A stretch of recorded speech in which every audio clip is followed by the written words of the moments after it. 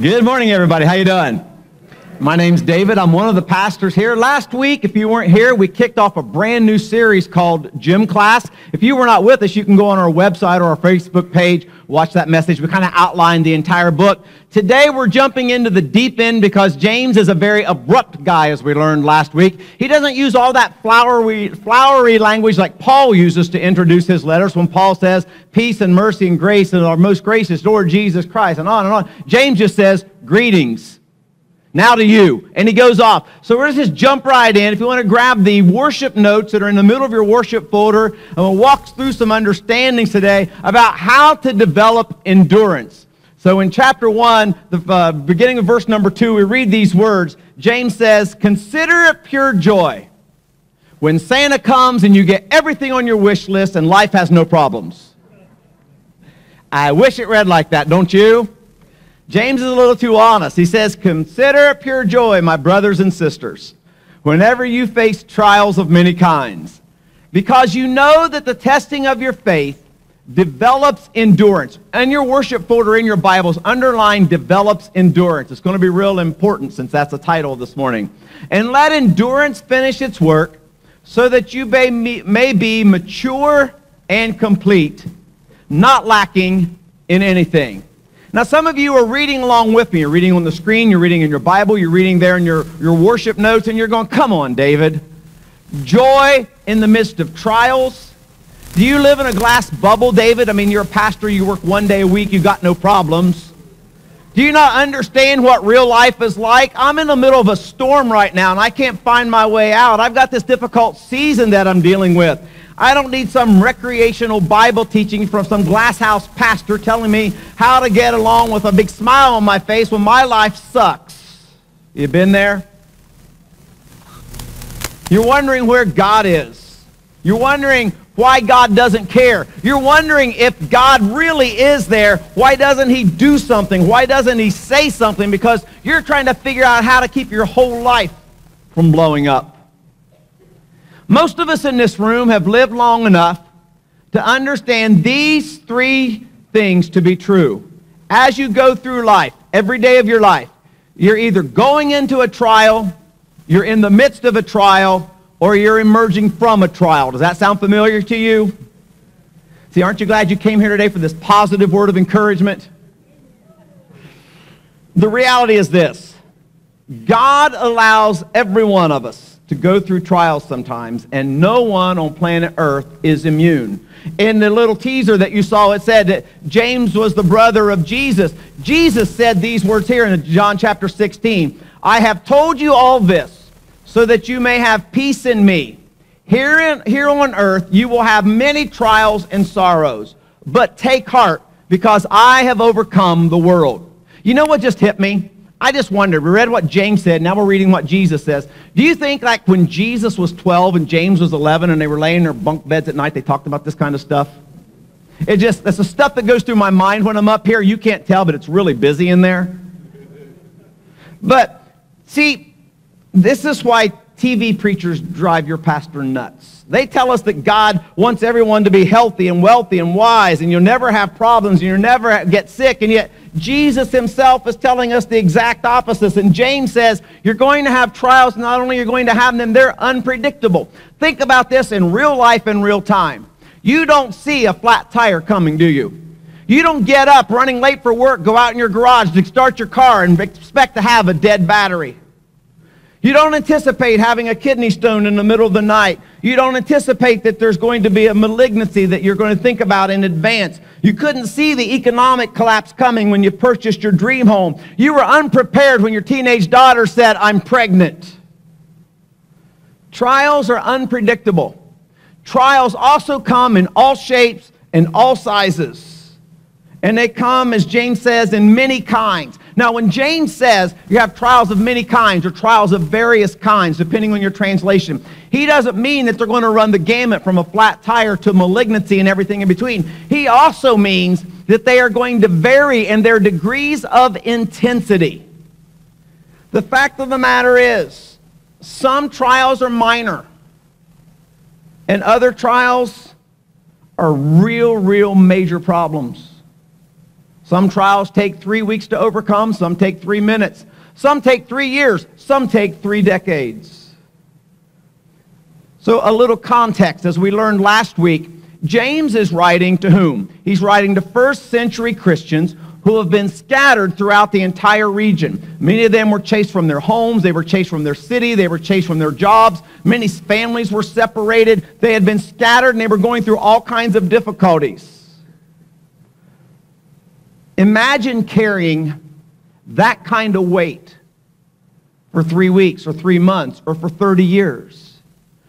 See, one of the things that I'm constantly aware of when I'm teaching here is that I am speaking to Americans. Many of you are American Christians. Some of you are pre Christians, but you're on your way.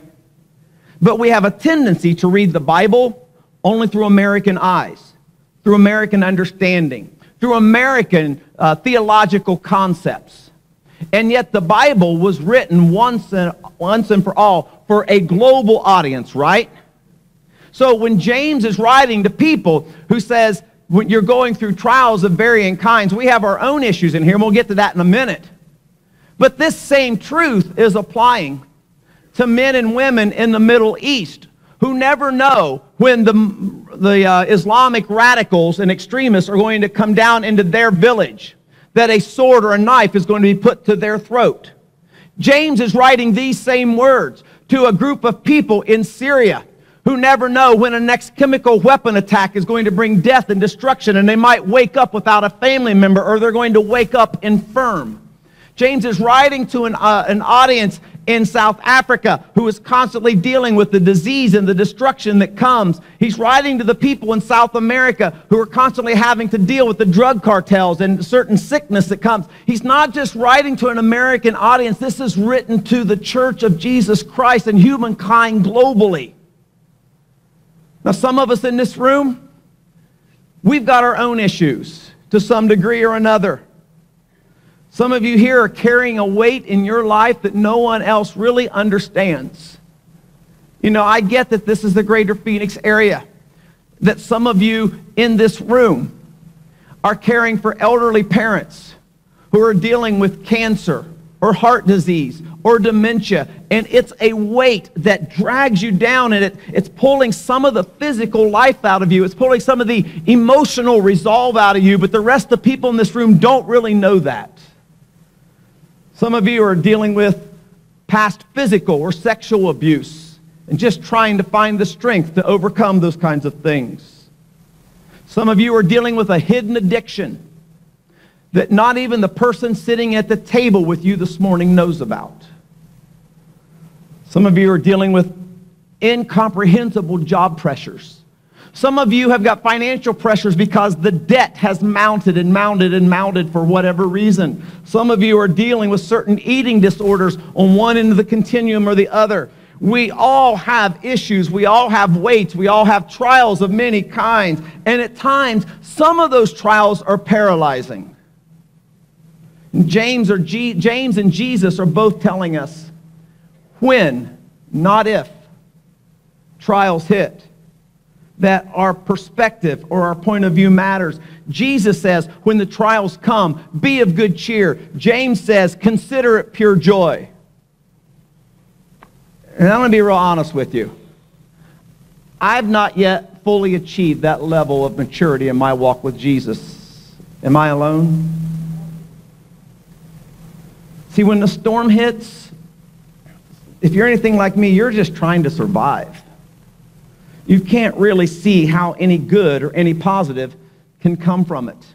Maybe you heard about the man who had been training and preparing for literally for years to swim the English Channel. He had done so well in his preparation and his time trials that, the, that his hometown had already prepared the banners. They'd already prepared the ticker tape parade. All he had to do was now go out and swim. When he gets in the channel and he takes off, when he's about a third of the way through, he is already like multiple minutes ahead of the world record when and things are looking great. And then the storm hits the water gets a little choppy and it gets really, really cold. And when the storm hit, it ushers in some jellyfish who begin stinging him. And as he's getting stung by the jellyfish, as the waves are getting higher and choppier and more difficult, as the water's getting colder and his, his body is beginning to affect, he finally just says at the halfway mark, That's it, I quit. And he turns around and swims back. Only about three of you got that. That's actually a pretty good joke. The rest of you going, Is that real or not? See, folks, when you give up halfway, you get all of the pain and none of the reward. Some of you may have read the biography of Winston Churchill. It's 4,000 pages long. Churchill leads Britain through its darkest days, and as after he does, he is literally kicked out of office. One day his wife says to him, It's probably a blessing in disguise, to which Churchill responds, Yes, a very effective disguise. James and Jesus aren't masochists. James and Jesus aren't going, yeah, you're supposed to go, yay, I get to suffer. I feel so spiritual when I suffer. They're not saying that as you endure, that you could consider that the trial and the tribulation is this wonderful thing that makes you better. They're not saying, thank God for the trial. They're not saying, you know, when you're in the midst of it, Thank God my husband left me. Thank God I lost my job. Thank God my house burned down two days ago. They're saying what you are to do that produces joy in the midst of the trial is to thank God for what he can do for you as you go through it. See, folks, your faith is tested through the trials, but it's not produced through them. And if we're going to be really honest, Here's the understanding trials always reveal what's inside of us.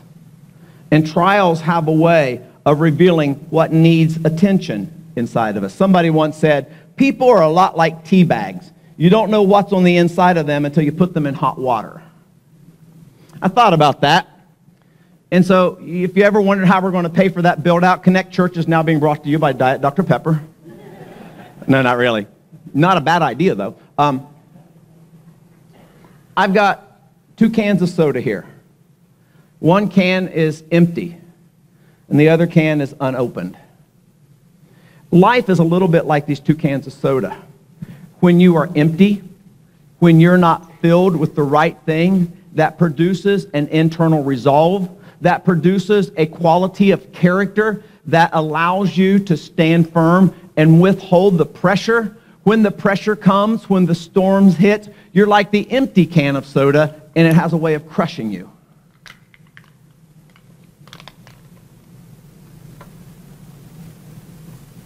The same storms and the same pressure are still going to hit.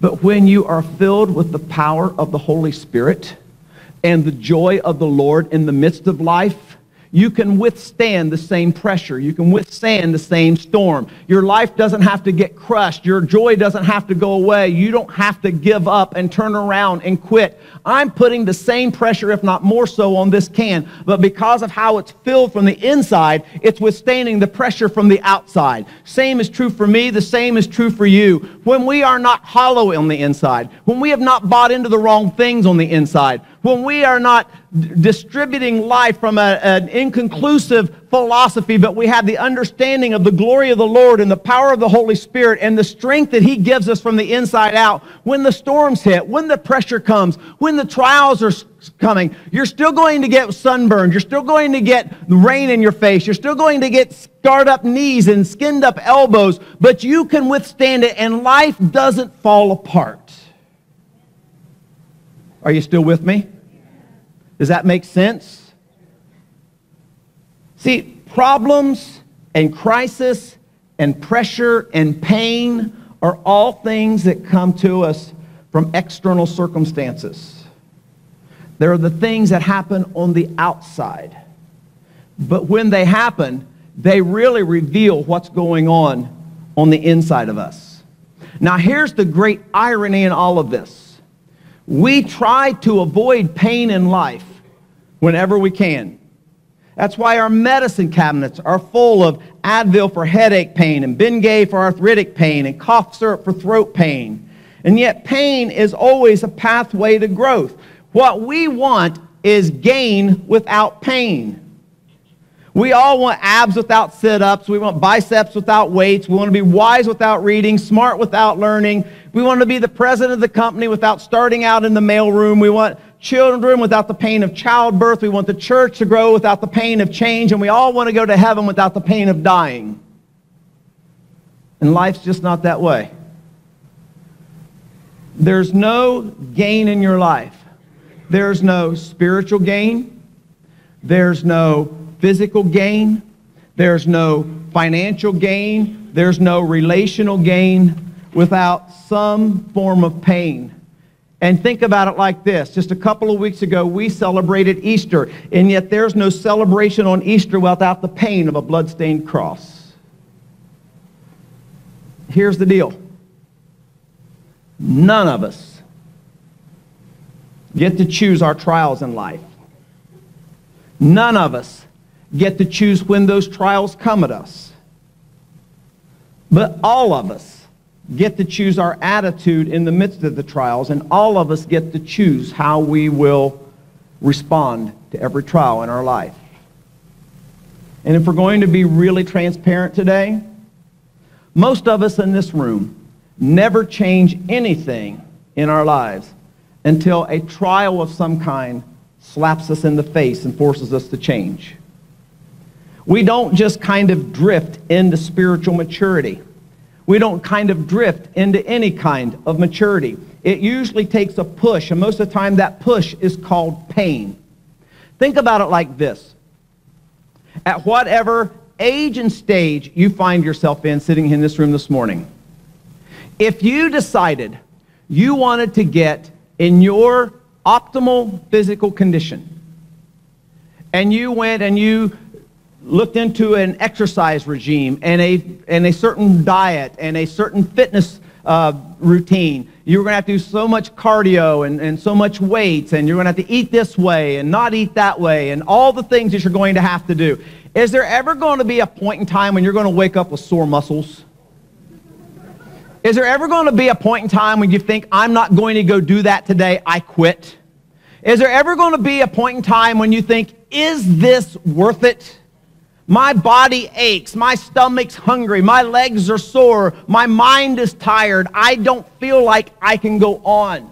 Same way it plays out in life, same way it plays out in our own pursuit of spiritual maturity. Some of us just get out of shape spiritually. And when a trial hits and a storm comes and we're trying to get through the adversity and get back to normal, there's some pain, there's some sore muscles, there's a sore spirit, there's a tired mind. Sometimes we just want to quit. I learned a lot about this when I was growing up. I've been fortunate last week and this week to have my parents in from Ohio for a few weeks. My wife's ready for him to go home, but I'm still pleased. Not really. It's more like the other way around. Um,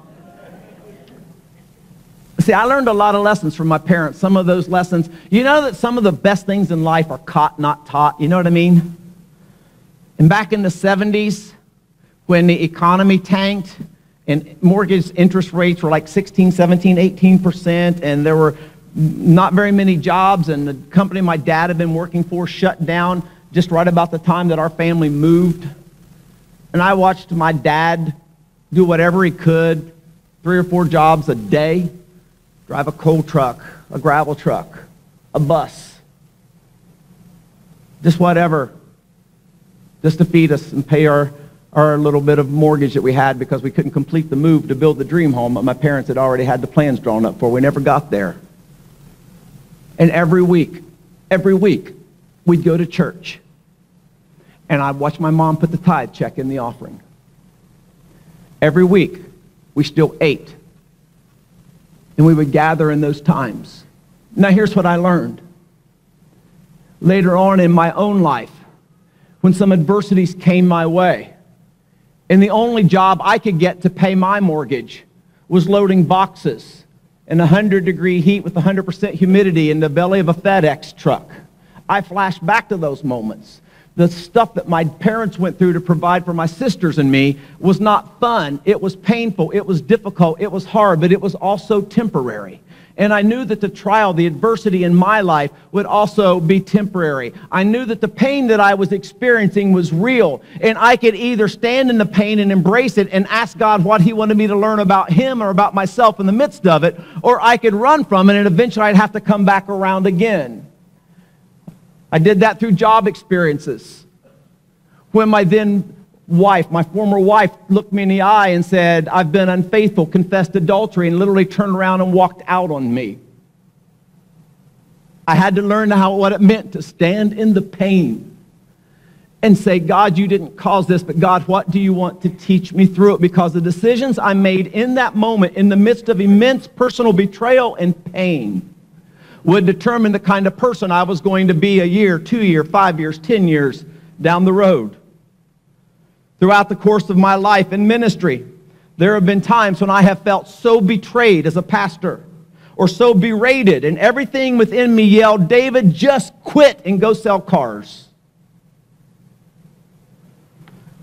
And yet, without a doubt, those experiences in the continuum of my life have been those that have contributed the most to my spiritual maturation how I've matured as a man, as a husband, as a pastor, as a leader. They have been periods of stretching and growing in my life. You see, folks, your point of view matters no matter where you are in life. So go back to, chap- to chapter 1, verse number 3. See what James says. James says, Because you know what? That the testing of your faith develops endurance.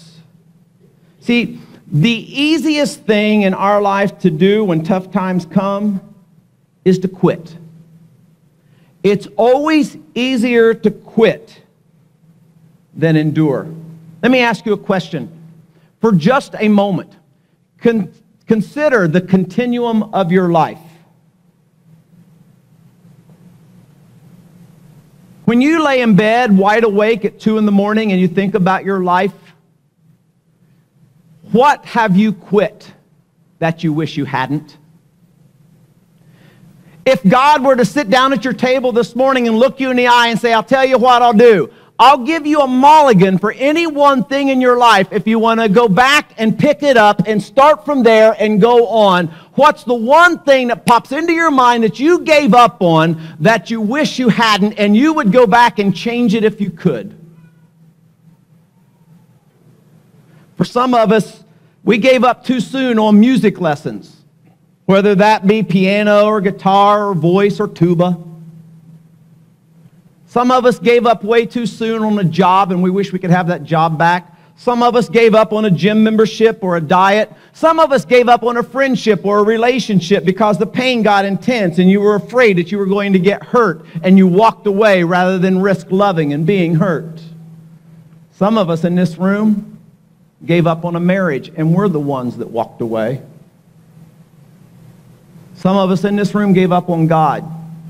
Maybe we went to church as a kid, we go off to college, we forget all about Him. Maybe you got distracted. Maybe there was a bump in the road. Maybe you moved. Well, I met this guy. I met this girl. Why did you quit? Understanding why you quit is important. Did you quit out of frustration? Did you quit out of fear? Did you quit out of discouragement? Did you quit because you bought the myth of the greener grass? Did you quit because of financial pressure? Did you quit because it was actually better for your family? Did you quit because it was causing health issues? Did you quit because there wasn't enough pride or enough prestige? Did you quit because you weren't making enough money? Why you quit matters because once you begin to understand why you quit, then you come to the point where you can work forward from it.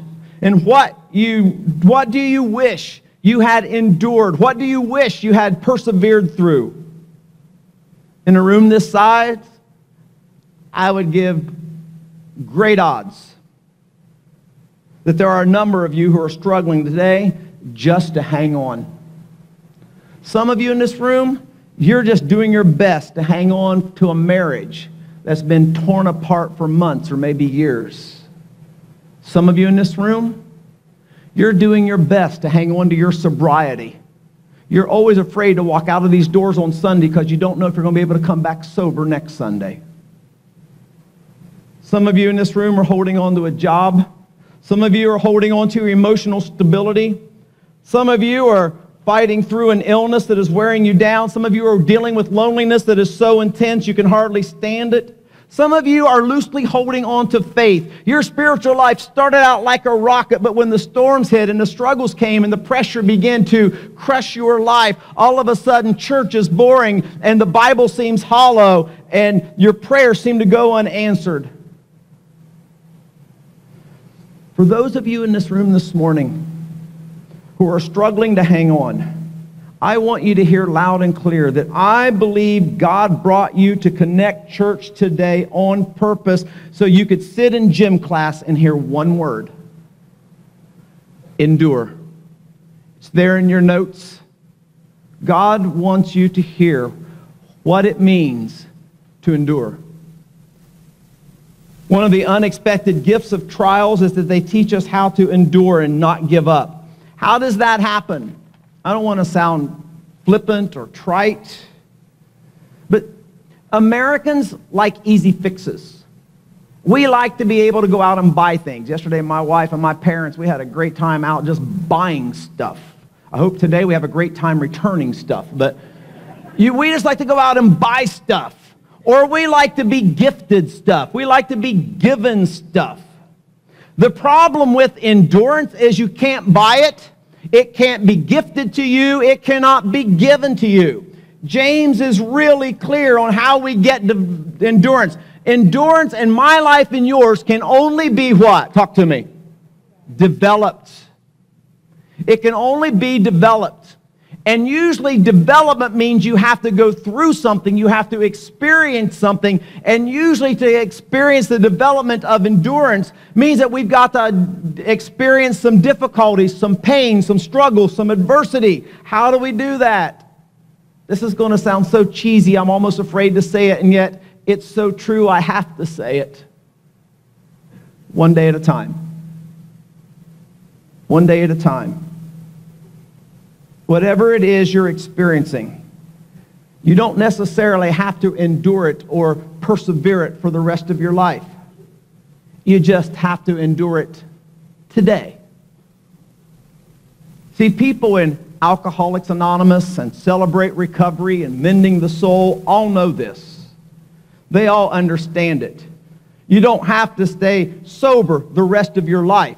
You just have to stay sober the next three hours or the next six hours or the next 10 hours. And then when you get up, you do it all over again, but you do it day by day. I'm looking at my life.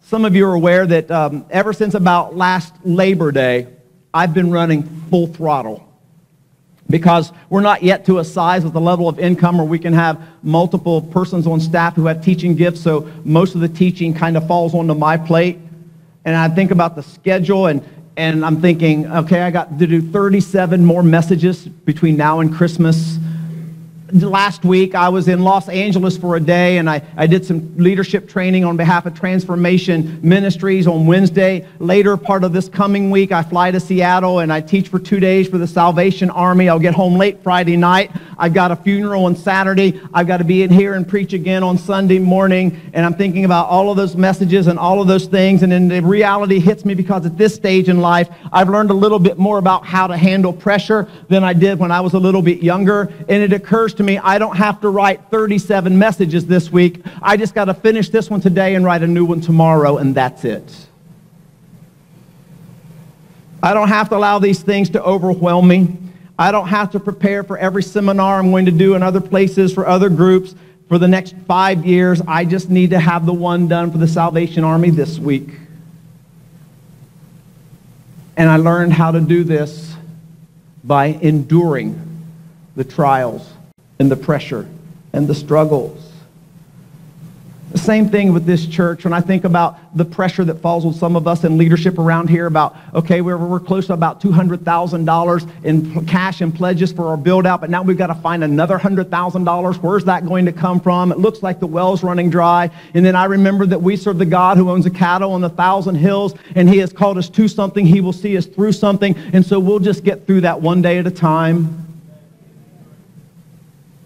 You think about the things that go on in a church. For some of you, the things that are going on in your connection group. Think about the struggles with your job and with your marriage.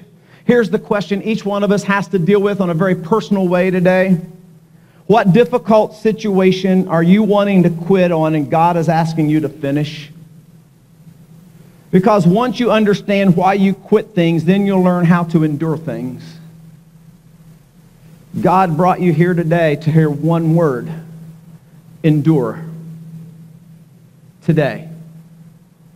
Now, as you grow in this understanding and you grow in this thing that the Bible calls endurance, and joy has a way of refilling your tank when your tank begins to get low, it leads to a second gift that you'll understand, and that was found in verse number four when James says that you might be mature, complete, not lacking in anything, and that is to be mature. You heard about the guy who walks into Walgreens one day and he looks up to the pharmacist and he asks if he has anything for hiccups, and the pharmacist reaches out and slaps him in the face. The guy's like, Why'd you do that?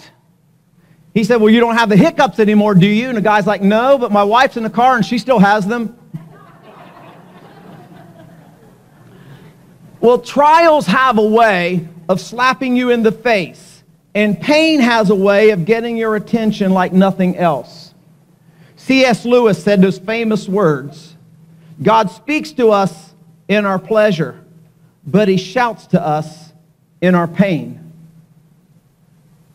See, going through Jim Class in the book of James, the journey that we're taking here, is going to not tell us how to avoid pain. It's going to tell us how to endure pain in the same kind of way if you were to do a gym membership to get your body in optimal shape. You can't avoid sore muscles. You can't avoid certain pains. You can't avoid what it's like to be hungry, but you can learn how to endure it while your body adjusts.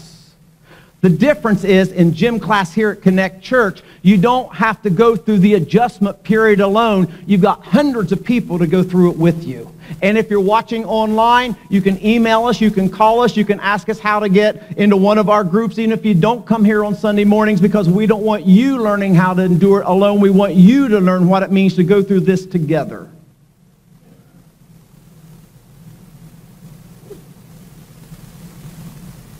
Sometimes I wonder when I stand up and I'm speaking at churches or I'm speaking at conferences or whatever, how many of you humbled yourself before Jesus Christ and you came to him somewhere in your past because you were going through a tough time or a trial in your life?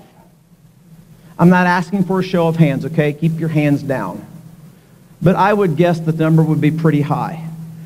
You came to Jesus Christ, or you initially sought Jesus Christ because your marriage was crumbling, or an illness hit, or your boyfriend dumped you, your girlfriend dumped you, or it went through a time when you buried your mom, or you buried your best friend, or when the economy collapsed and you were faced with financial pressures. My guess, if I were to ask for a show of hands, lots of hands would go up in that scenario. On the other hand, if I were to ask how many of you finally received Jesus in your life because you won the Mega Millions lottery, or because you received the promotion of all promotions at work, or because your child made the honor roll or got accepted into a very prestigious college, my guess is not nearly as many hands would go up. The reality is, whether it's your life or mine, we rarely grow until a trial pushes us. Think about it like this. If you were to ask a silversmith or someone who works with metals how to purify metal, they would always say you purify metal by turning up the heat, right? In the same way, when you turn up the heat in our own lives, we find out what's important and what's not important. We find out what we prioritize and what we don't. We identify impurities and imperfections. When the silversmith gets asked, how do you know when the silver is pure? His response is this, when I can see my reflection in it. And in the same kind of way, folks, God uses trials to turn up the heat in our life, to refine us so that we can begin to reflect Jesus Christ in all the areas of our lives. Our good days and our bad days and all the days in between. God sometimes allows fires in our lives to purify us. See, anybody can be loving when everybody is nice to you. Nobody needs patience if you've never gone to the DMV. Nobody needs to exercise self-control if you only have lean cuisine in your refrigerator. And I want to pause right here for just a moment. We are intentionally a multi generational church.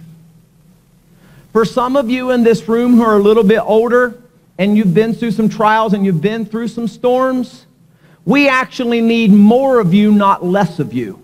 We need every one of you over the age of 60 or whatever involved in a connection group or involved in a ministry or sitting out there under, under a tent today at that picnic because we need these 20 somethings and 30 somethings who are going through some of the most painful times in their lives to know that there is a mature Christian person who's a part of Connect Church who has already been there and they can trust what God did in you. But if you're not involved and they can't go to you, then this church loses and a whole generation of people misses out.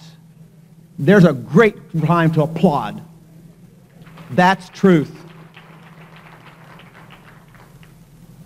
One of the things about where I am in life today is I've been able to mature in ministry, and now that I have the privilege of going and sharing with some young and up-and-coming pastors uh, from time to time, one of the things I realized, this is what I was doing with TM this past week, I learned, you know what? I'm not as uptight in ministry as I used to be. I don't get all befuddled when somebody catches me in the lobby and points their finger in my face and tells me everything I'm doing is wrong. I don't get all upset when the budget gets tight and we're not exactly sure where the next round of money is going to come from. I don't get all excited about the kinds of situations and frustrated when somebody's telling me that the, the, the difficult situations are going on in their life and I don't care. I've learned this about God as I've gone through the trials in marriage and in life and in ministry and as I stand here before you today, I've learned that God can be trusted. The world is not out of control. God's still in charge. His promises are true. His love is real and he is available.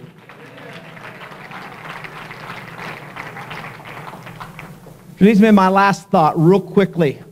As you endure, you then mature.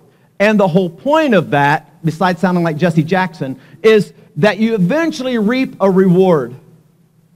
James chapter 1, verse 12, and we'll get to this a little more thoroughly next week. He says, Blessed is the one who perseveres under trial, because having stood that test, that person will receive the crown of life that the Lord has promised to those who love him.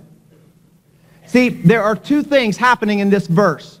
As James' letter is being dispersed, and you learned that that was the first letter of the New Testament, so at one point in time, that was the entire Bible.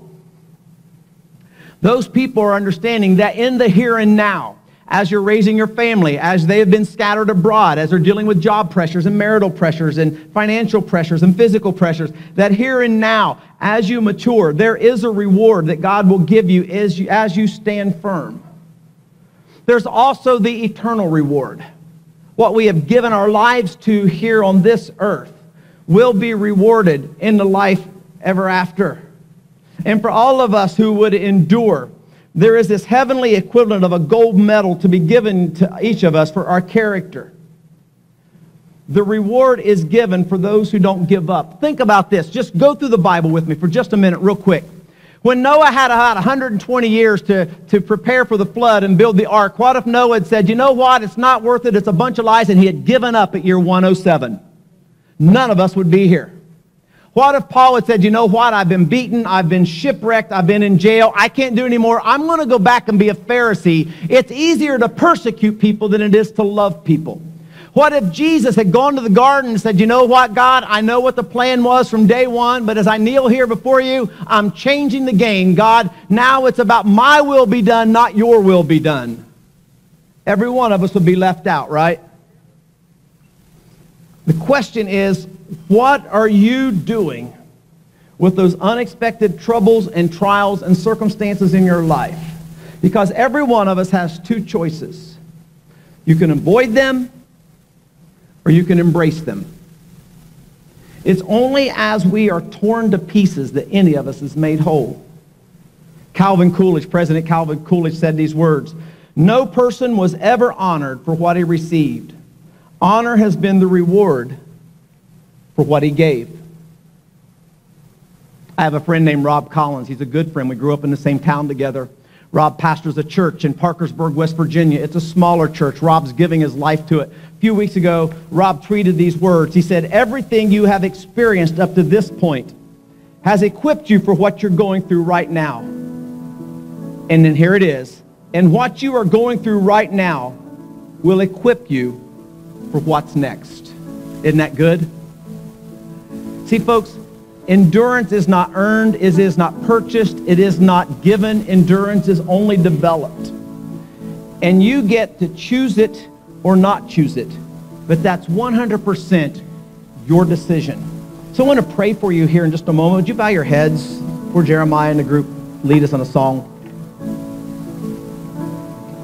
But if you're struggling with this issue, maybe there's an unexpected pain or difficulty in your life, and you're wanting to quit. But God spoke to you this morning. Don't walk out on that marriage. Don't prematurely give up on that diet or that health thing or what you're doing with your body. Don't, don't give up on that job. Don't give up on that teenage son, that teenage daughter. Don't give up on Connect Church. They're going to get around this curve. But God's asking you to stand steady in the pressure. But you need his help. And it's a little bit hard. Would you just lift your hand up and back down? I'm just going to pray for you. That's all I'm going to do. Yeah, all around the room. Father, you are amazing. We sang that song about there's no mountain you won't climb and no wall you wouldn't kick in because of your love. God, you don't hide the realities from us that life is difficult. You said, Jesus said, in this world you will have trouble. And James said, when you go through trials of varying kinds, you never hide the difficulties of life from us. You also never hide that as we go through the difficulties of life, you are with us. And there is no shadow of failing with you. And yet, God, I've walked through some valleys. And sometimes, sometimes in our humanity, we wonder if you're really with us. Sometimes, God, we wonder if you even care. And yet that's our human frailties talking. The understanding is you never leave us or forsake us. You are always with us. And so, Father, for those hands that went up this morning, and even for those who didn't raise their hand, but there's something else going on inside of them, pray that you would minister. What one word of encouragement do they need from somebody at their table? What conversation do they need to have today at the picnic? What question in their connection group this week needs, do they need to linger on? What passage in their Bible and their personal devotions later this week do they need to, to find? What do you need to say to them right now, Lord Jesus? Because there's power in your name. What do you need to say to them right now? That would be just enough to get them through today. God, you are amazing. And I absolutely love you and adore you. And we give you all praise and honor in Jesus' name.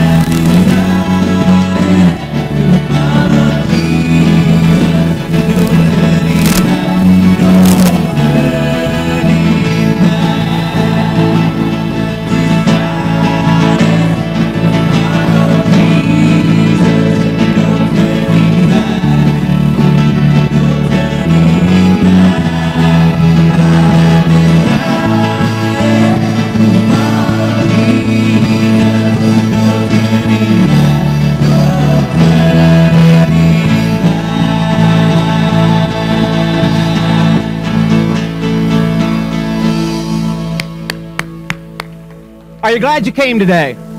Hey, we're glad that you guys are here. Uh, Ashley told you about the picnic. Here's what I want you to understand. If today is your first Sunday and you just feel like you want to hang out and get to know some, well, some pretty goofy people, make your way to Red Mountain Park. There's plenty of food, plenty of games. We just want to get to know you. We can't get to know you if you're not there. Lord God, we thank you for your goodness. We thank you for the strength that you give in the midst of the storms. We thank you for your honesty before us that gives us an understanding that you are working with us to create a reflection of the Lord Jesus Christ in each of our lives.